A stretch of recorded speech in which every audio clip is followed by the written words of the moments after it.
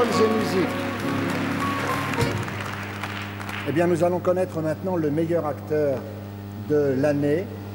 Tout à l'heure, je regardais Sean Connery qui était là sur cette scène et j'évoquais un très beau film de Richard Lester qui s'appelle La Rose et la Flèche. Dans ce film, il était Robin des Bois et à côté de lui, il y avait une adorable Lady Marianne. Une adorable Lady Marianne qui nous a enchantés dans Vacances romaines, dans Sabrina, dans My Fair Lady. Elle est là ce soir et je suis très heureux de la voir de près et vous allez être très heureux de l'applaudir vous aussi. C'est Madame Audrey Hepburn.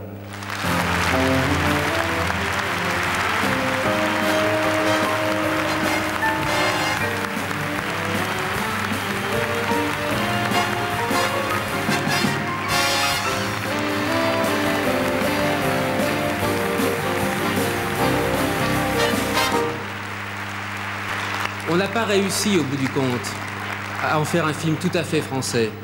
Mais euh, on, par hasard, encore une fois, nous nous sommes unis avec euh, des Italiens et avec des Allemands.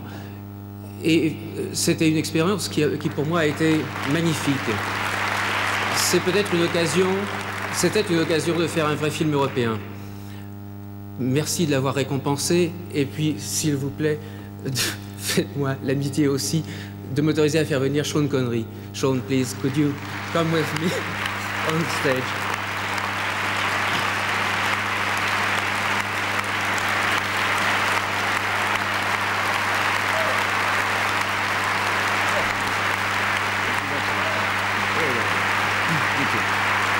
Il est clair, il est clair que c'est bien entendu la seule nomination que nous pouvions avoir puisque nous étions dans la catégorie étrangère. Je sais que sans Sean, euh, ce film n'aurait pas eu le, le succès qu'il qu a eu. Il n'aurait sans doute pas été euh, nommé. Et euh, je m'étais décidé, si cet honneur m'était fait, de donner mon César à Sean.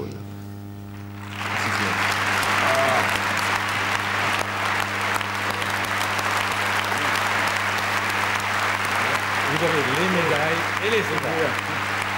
Merci.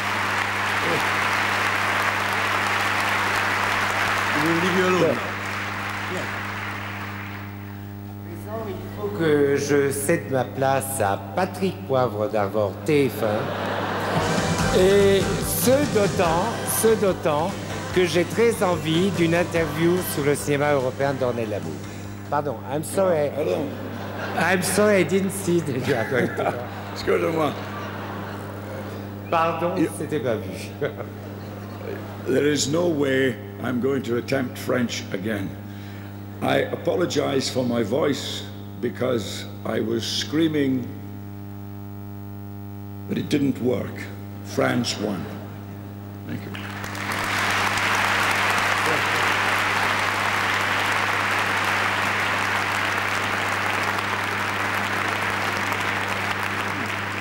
Patrick Poivre d'Arvor TF1.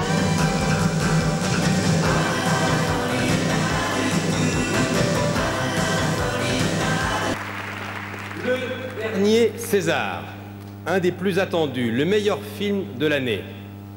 Pour vous rappeler les metteurs en scène, les films qui étaient en compétition, les deux présidents de cette soirée, la présidente pour deux ans de l'Académie des Arts et Techniques du Cinéma et le président de la soirée, Jeanne Moreau et Sean Connery.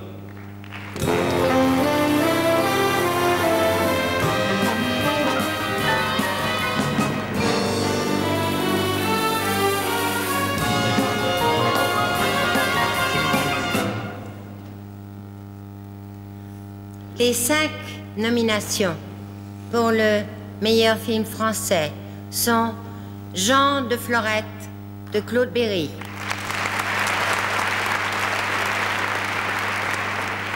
Mélo d'Alain Renet,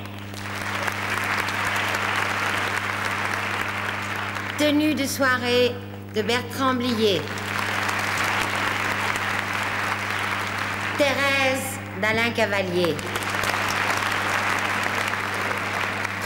37-2 le matin de Jean-Jacques Benex.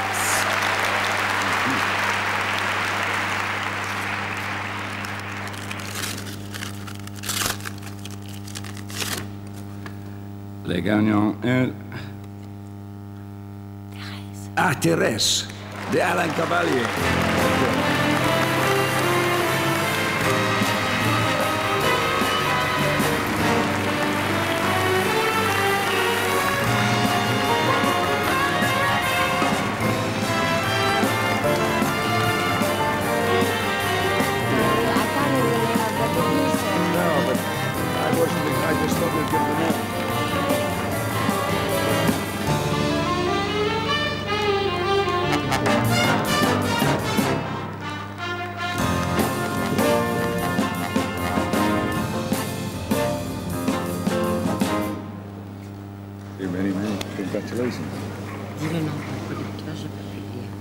Euh, Maurice Bernard est le producteur de ce film, s'il pouvait venir me rejoindre.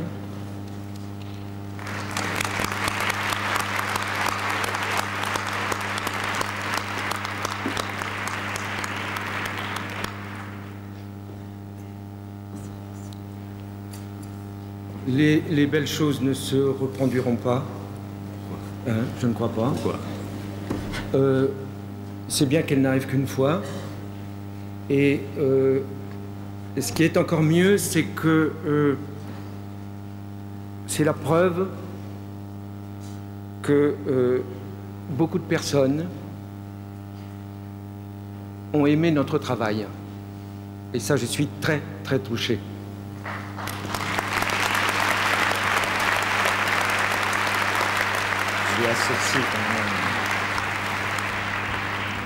Je voudrais dire simplement que ce film a été réalisé grâce à l'avance sur recette. Euh, je voudrais associer aussi euh, les films à deux, euh, Jean Rouilly et à l'époque Pierre Hérault. Et je vous remercie tous beaucoup. J'avais oublié l'UGC, je ne vais pas tous les nommer parce qu'ils sont très nombreux et j'en oublierai certainement. Merci beaucoup.